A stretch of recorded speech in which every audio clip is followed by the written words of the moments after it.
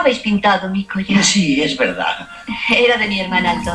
¿Os gusta? No, a decir verdad, no os favorece mucho.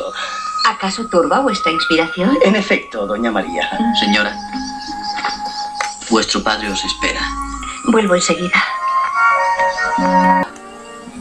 En mi hermana.